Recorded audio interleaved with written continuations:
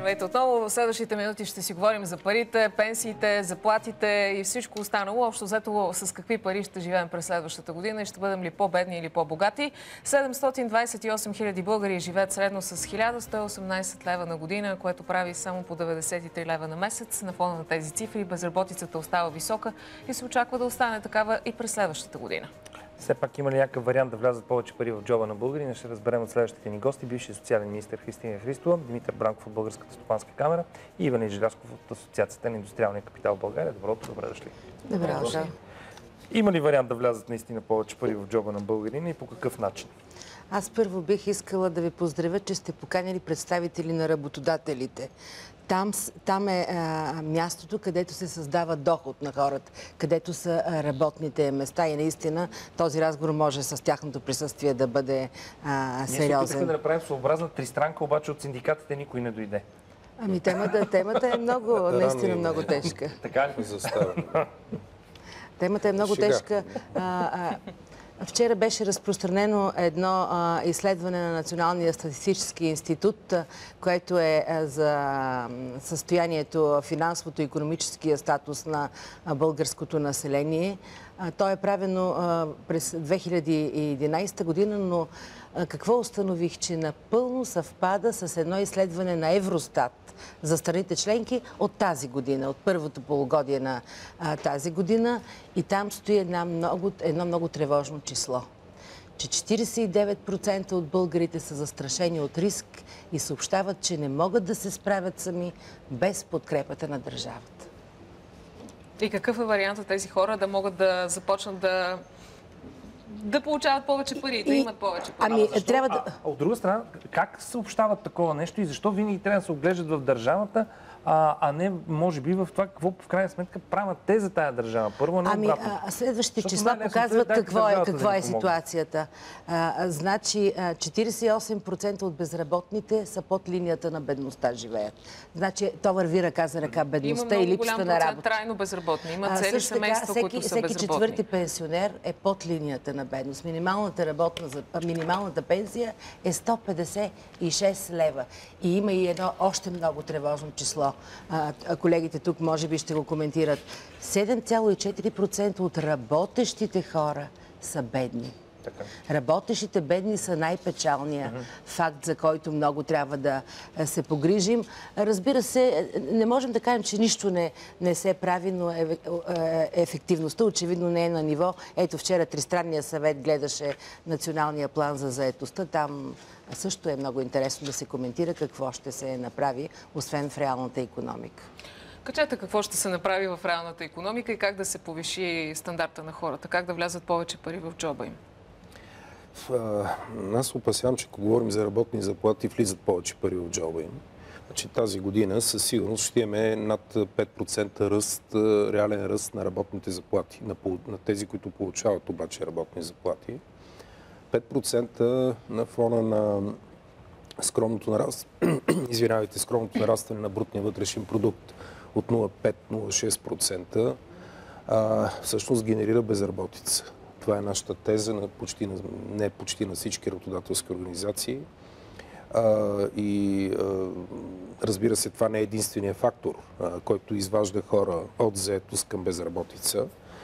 А, но факт е факт. В, годината на, в годините на криза от 2008 година до сега в България има най-съществен ръст на работните заплати спрямо всички останали европейски страни. Това не трябва да се забравя което съвсем не прави... Те са най- най-низките, не е ли нормално все пак да има малко повече? Е, добре, да е нормално, обаче ако имате производство и не с този темп. А, защото такъв темп на ръст на работните заплати при а, по-нисък темп на ръст на добавената стоеност означава само едно – безработица. И това се случва. През 2 а, в 9 месечето на, 2, на тази година, на 2013, ние имаме с около 1% по-малко хора на нети лица, т.е. с сключени трудови договори и малко по-малко фактически е намаляването при заетите лица, общата заетост. Знаете, тя е самонети лица, управители на фирми, семейни работници и така нататък. Тоест, вие казвате, че трябва да държим заплатите по-низки, за да няма безработица. Така ли излиза? А, аз Да се радваме на това, че хората ще получават по-малко пари, но поне ще, ще получават бъде нещо. абсолютно спекулативно и слава Богу, че няма представители на синдикатите, защото очевидно те нямаше да приемат тази теза и, и съвсем справедливо. Има много други фактори, които тласкат, а, така се каже, а, задържат а, нарастването на производството и на добавената стойност, в това число ръста на енергоресурсите. Значи ние имаме един много по-скромен ръст на цените, по които продава българската промишленост, да вземем само този сектор, и със селското стопанство горе-долу е така. Основното зърнопроизводство, знаете, че е монокултурно земеделие. Спрямо ръста на енергоресурси, спрямо ръста на трудовите разходи. И това тласка производството надолу. В повечето сектори има сектори, които се справят, адаптират се, има структурни промени, нарастване на конкурентоспособност, въпреки тези по-високи разходи, което е плюс на техния менеджмент и на хората, които управляват това производство. Нека да.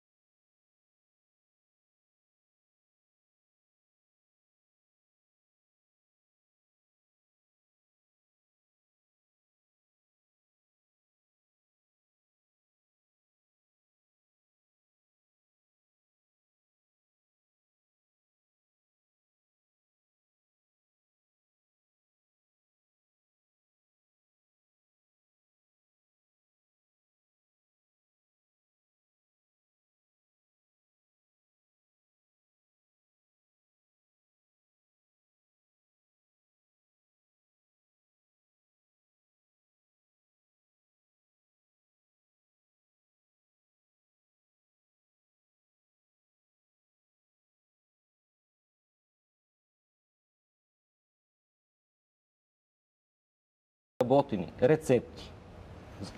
Защо тези рецепти не биват препознати? Те са, Защо?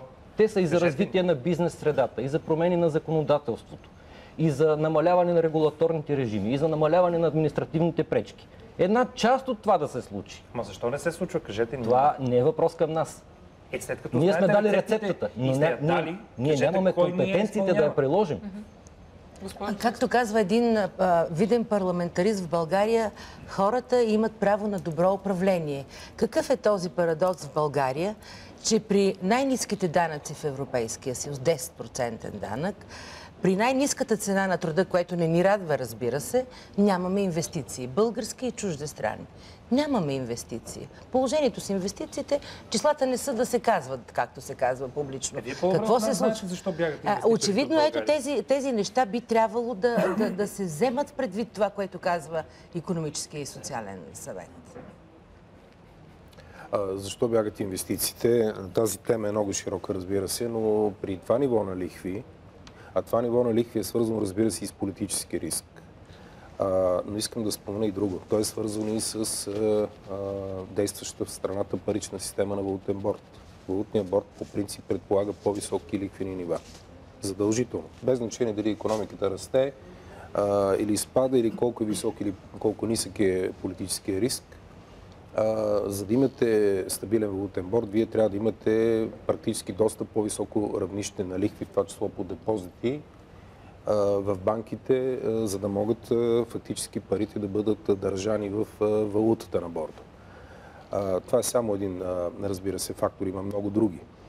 Намаляването на кредит. Тази година ние ще имаме по-низко задължение на бизнеса и на населението към банките по задължение по неразплатени кредити, което означава просто, че се свива кредит. Имаме спад на преките чужди инвестиции. Също така, от това, което обявява статистиката. Тоест, имаме тези индикации, че инвестициите не върват. Ако изобщо имаме ръст всъщност на инвестициите, но той се дължи общо на инвестициите, но се дължи изключително на публичните инвестиции за сметка на европейските средства. Ня, няма просто друг положителен фактор в това отношение. В понеделник тук беше Емил Хърсъв и той каза, че економиката наистина се отлепя от дъното и че вече се забелязват добри сигнали.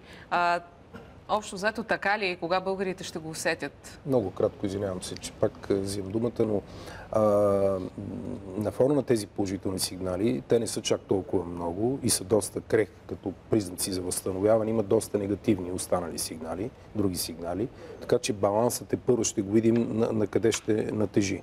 А, имаме положителни знаци в агропроизводство, в промишлеността, преработващото основно в износа, но част от този износ със сигурност вероятно е свързан с така, режима на ДДС. А, няма как това да не е така. Това е в цяла Европа. Какъв е процент, аз в момента не мога да спекулирам. А, имаме още няколко други положителни сигнали. На фона обаче все пак забележете на намаляваща производителност, което спомена и колегата преди мен. А вие а, споменахте за националния план за заетостта, на който беше гледан вчера в НСТС. Ами там прогнозата на правителството за нарастване, на, за намаляване на безработицата е много а, скромна. 0,3%. Значи, очевидно са взети и тези фактори в предвид и неблагоприятните, за които а, говори а, господин а, Бранков. Но, но числата у нас за сега наистина са много неблагоприятни.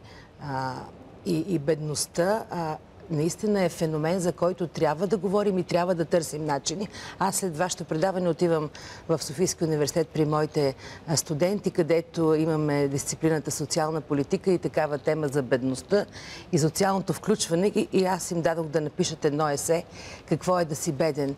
И знаете ли какво прочетох от един от студентите? Да си беден означава да живееш в периферията. Това е много сериозен въпрос за качеството на живота на хората в една страна членка на Европейския съюз в 21 век. Така че темата, която подхващате, наистина е изключително сериозна и тежка и отговорна.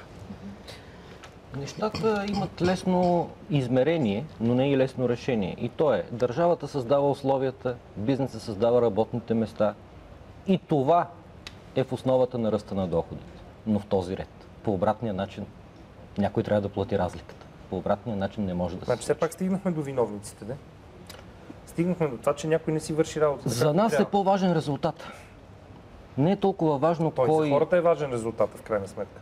Да. Ще има много измерения, т.е. не бива да очакваме много бързи решения и много бърз ефект. Дори економиката тръгне с един висок темп на растеж през следващата година, а, това няма да се отрази незабавно на заедостта.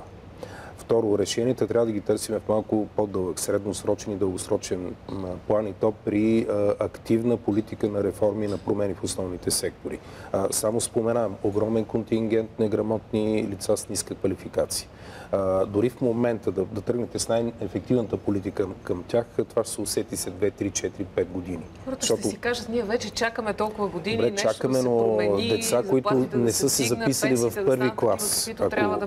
Деца, които не са се записали знаят, в първи клас, ако сега ги вкарате в училище, да те ще излезат на пазара на труда. Е точно така. Мисля, че всички го знаят, че без образование и квалификация няма как да се реализират на съвременния пазар на труда. Вижте, питате, предлагате, пък не се случва. И мога да ви дам един много дълъг списък, нямаме време просто. Но ще ви дам само един пример. Много е, голяма съпротива срещам от синдикатите за ограничението за заетост на 15 годишните. В момента тя е възможна само след разрешение на главна инспекция на труда. В цяла Европа, цяла Европа и Евростат бори работната сила и економически активните лица от 15, 15 до 64, да. а не от 16 до 64. Е, толкова ли голяма разлика? Излиза, че ние сме с извинение за грубата дума толкова рано сутрин, но сме най-големите дебили на, на Европейския съюз, след като а, преценяваме, че на, на в останалата част на Европейския съюз тези, които напускат училище, могат да се трудят на 15 години или дори не напускат, а са в така речената дуална система mm-hmm. на професионална квалификация, обучение да на работно да. място, с трудов договор. Не просто е така на практика и на стаж, платен, неплатен. А, м, а, това означава, че ние трябва да отиваме в много, много съществени промени в трудовото законодателство. Ограниченията за агенциите за време на работа. 30% е ограничението за приемащото предприятие, че може да наеме хора през такава агенция спрямо общия персонал. Няма такива ограничения в Европейски съюз. Един дълъг, още много дълъг списък. Включително аз усещам е, един мързел, ще използвам и тази дума сред чиновничеството, а, не искам да отивам до някакви други изводи. Нали, Вчера се говореше за това колко хора са уволнени тук за последните 3-4 години в държавната администрация. Дано 40 това да са хора с ниска компетентност, немотивирани, мързеливи, а не компетентни хора. Но, но се опасявам, че сред тези 40 хиляди вероятно и голяма част компетентни хора с памет, институционална памет и, и компетенции, които са необходими.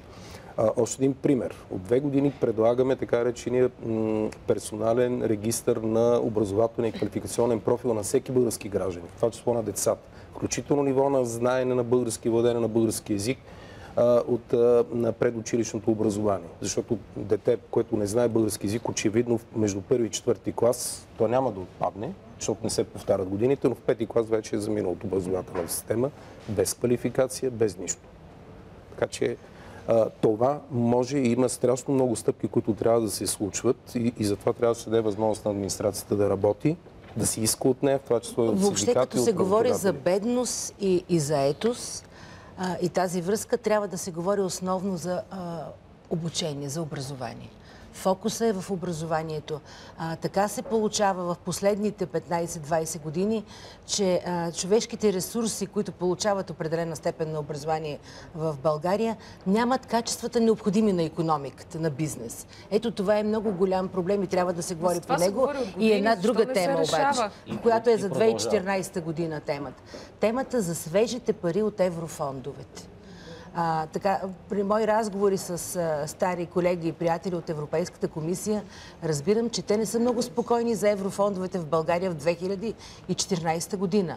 Не, не, са, го, не, не са ясни някои Да не неща около много договора в смисъл, за партньорство. тя, но това са единствените ред, но- свежи пари, които, както виждаме при това ниво на инвестиции, идват в България. Ясно. Добре. Само, само едно предсказание. Да, да ако, ако, докато не се възстанови съотношението работещ пенсионер от преди 20 години, а тогава е било 3-4 работещи срещу един пенсионер, в момента е, забележете, едно към едно.